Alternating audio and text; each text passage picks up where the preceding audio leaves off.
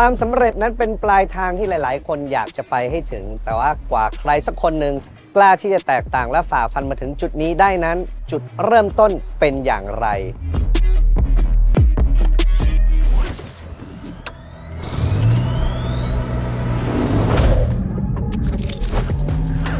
วันนี้ผมจะพาทุกๆคนไปพบกับคุณดิว ผู้กล้าใส่ความแปลกใหม่ สร้างความแตกต่างให้กับเสื้อธรรมดาธรรมดากลายเป็น item แห่งความสำเร็จของแบรนด์ที่ชื่อว่า PDM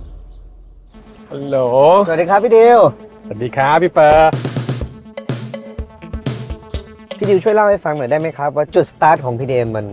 สตาร์ทมาได้ยังไงครับ ครั้งหนึ่งที่เราพาเพื่อนต่างชาติเนี่ยเขาไปเห็นเสื่อ อืมก็เลยคิดว่าเออเอ้ยทำไมมันไม่มีใครทำเสื่อให้มัน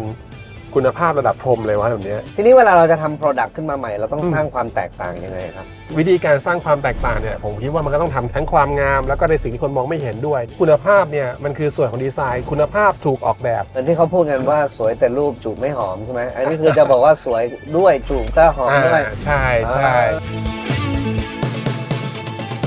แล้วจากเสือวันนั้นทำไมกลายมาเป็น PDM ที่คนชื่นชมมีผลิตภัณฑ์เยอะแยะมากมายในวันเนี้ย PDM มันมีคำคำหนึ่งที่เป็น quote ของเราก็คือว่าคำว่าสวยเฉียบพลันนะครับเวลา PDM เข้าไปปูแล้วเนี่ยบ้านก็จะสวยขึ้นไปอีก ครับ ก็สื่อสารมาเรื่อยๆแล้วพอเราทำมาเรื่อยๆเนี่ยเราก็พบว่าเราควรจะขยายไปสู่ category อื่นแบรนด์ออนไลน์ที่เป็น fully furniture เนี่ยชิคๆอะเราอยากจะทำแบบนี้ เพราะว่าเราเรารู้สึกว่า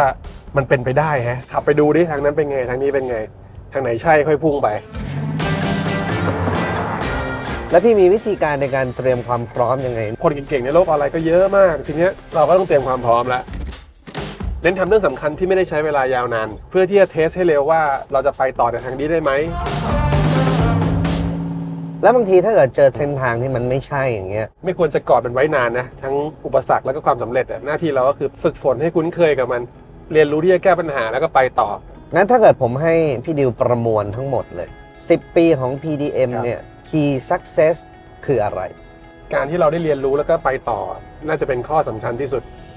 ข้อสองก็คิดว่าทีมสำคัญมาก ผมเชื่อในการร่วมงานกับคนที่มีความสามารถหลากหลาย ถ้าทุกคนแตกต่างมาอยู่รวมกันเนี่ย มันก็จะสร้างความแตกต่างได้แบบหลายเท่า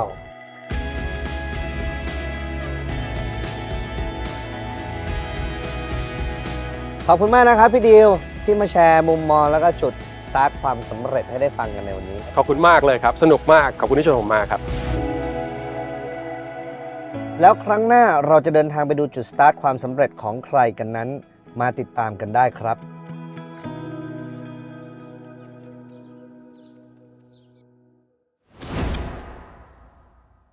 Drive your ambition.